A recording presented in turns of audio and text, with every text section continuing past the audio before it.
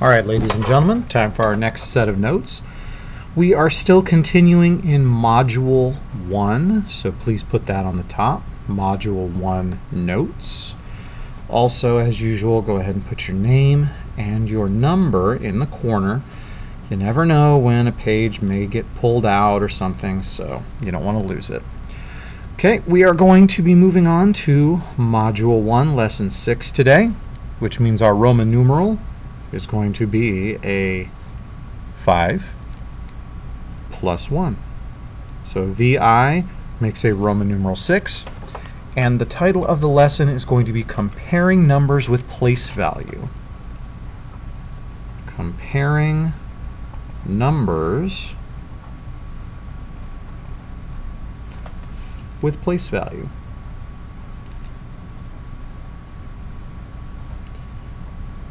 We'll talk later also about how you can use this information to order the numbers. If you have three or four or more, you can put them in order from least to greatest, greatest to least, but we'll get to that in a little bit. First, I'll start with some vocabulary. And today's vocabulary is actually mostly going to be connected to the symbols we're using. Okay. Hopefully you've seen these symbols before. I'll put this one down first. This is the symbol for less than. If you see this in a number sentence, if you see it between two numbers, the number on the left is going to be less than the number on the right, on the other side. Okay. You can kind of remember this if you turn your paper or if you tilt your head a little bit. It looks like an L. It looks a little bit like a capital L. So if that's less than, the next symbol that we will need will be the opposite of that. It's facing the opposite direction, and it is greater than. Greater than. So same deal. Whatever number is here is greater than whatever number we put after. I will give you some examples in a few moments, and hopefully that'll make more sense. Now, I always say every year, and you've probably heard this from other teachers, think of these symbols as a mouth. Think of it as a mouth. The mouth is always going to open towards the bigger number because it's hungry. It wants to eat more. Pac-Man always wants more power pellets. Okay, so this is always going to open towards the larger number. You just have to be careful when you read it. Less than, greater than. Okay, number three this symbol I know that you've seen before. You have been using it for years.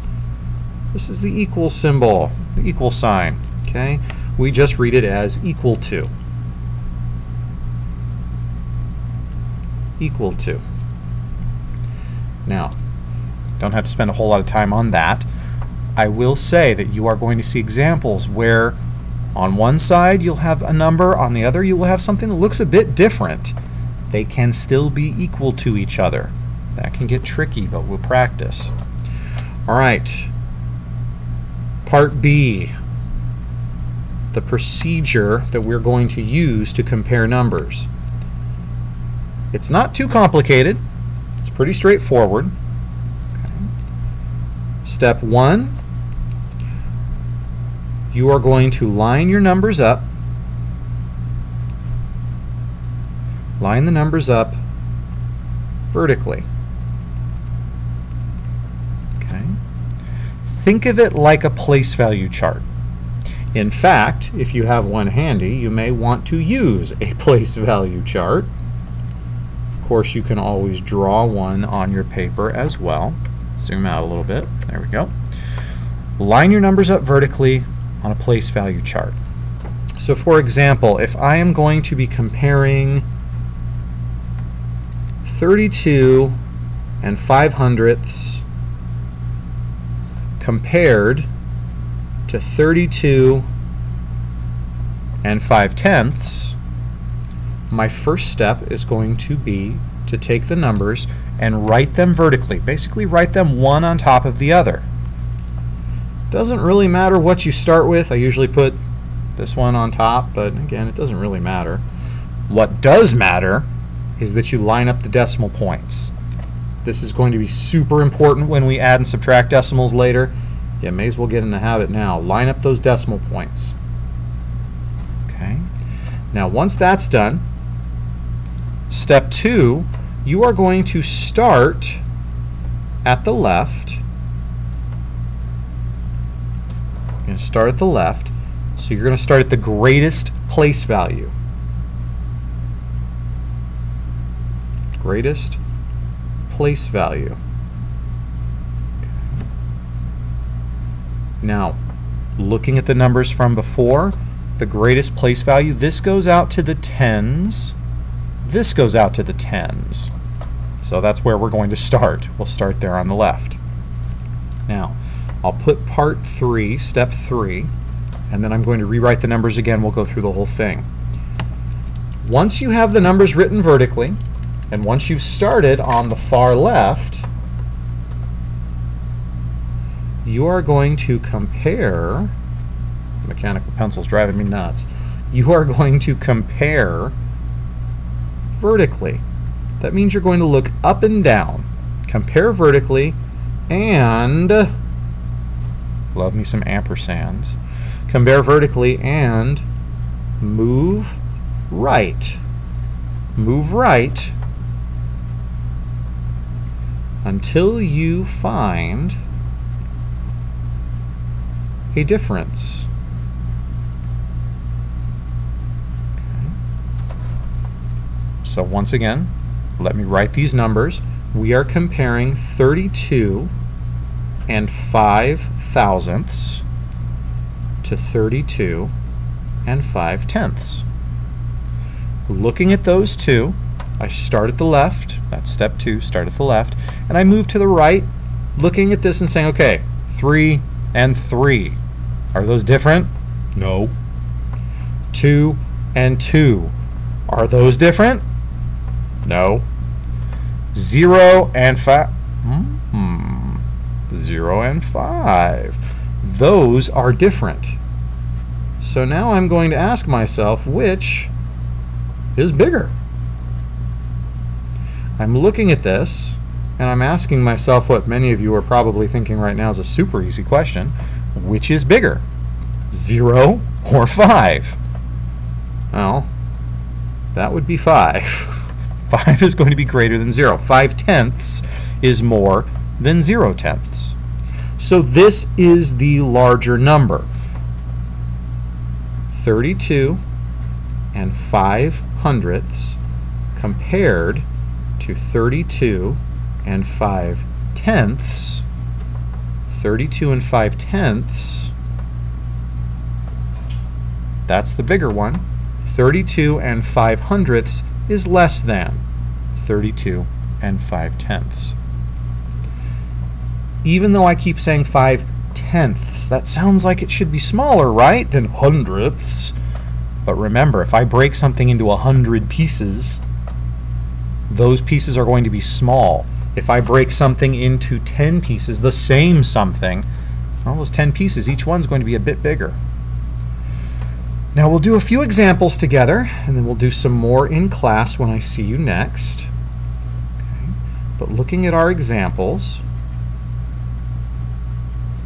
okay. number one, let's say we're comparing 18 and 3 tenths to 18 and 2 tenths. Some of you may already have the answer, but we're going to go through, write it vertically, 18.3, line up that decimal, 18.2, same, same, different. So this one is bigger which means the mouth wants to eat that one. So it's going to open that way. 18 and 3 tenths is greater than 18 and 2 tenths. Okay, that one wasn't bad. But I promise you I can make it worse. 16 over 100. Oh no, there's a fraction.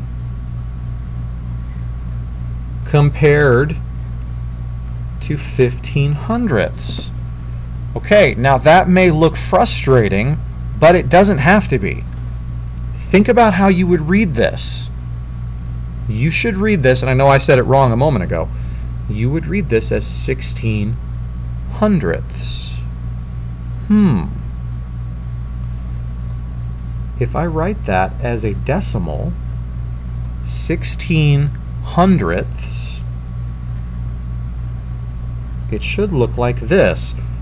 16, last digit in the hundredths column. Don't have to do anything to that. Okay. Zero, are those different? Nope. Are those different? No. Are those different? Yes, they are. That one is larger, so once again, greater than. We will do one more example together, and then I will let you go. Last one. Okay, last one. 96 and 31 hundredths compared to 96 and 310, excuse me, 96 and 310 thousandths. Got to make sure I say it like a mathematician. Now these are both decimals, so we don't have to change anything. Just write 96 and 31 hundredths, 96 and 310 thousandths. Start on the left. Are they different? Nope. Different? No. Different? No. Different? No. Different? Not really. Now some of you may be thinking, well there's something here, shouldn't this one be big? Remember, I can add as many invisible zeros over here as I like. So really, even though we didn't see anything there, even though nothing is written there, these are actually exactly the same. So, 96 and 31 hundredths is equal to 96 and 310 thousandths. That's pretty much all we're going to do for today. It's definitely all we're writing for notes. Again, when I see you in class, I will show you how we can use this to then put numbers in order but it's basically the same process. You'll line everything up vertically, just instead of marking which one's biggest, you'll have to say which one's biggest, which one's smallest, put the others in order accordingly. All right, that's it for today. For Nicholas, let me remind you to please hit like and subscribe to my channel. Have a good afternoon slash evening slash day, folks.